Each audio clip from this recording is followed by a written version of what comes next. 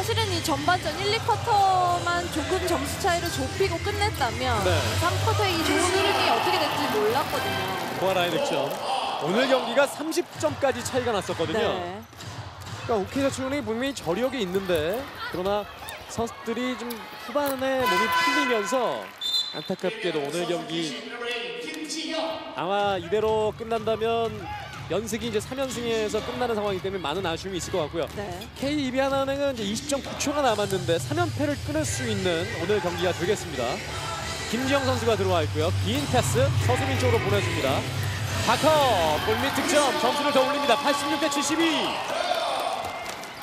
오늘도 맞대결에서는 이제 승리팀은 80점을 넘어섰군요. 이소희가 공 놓쳤습니다.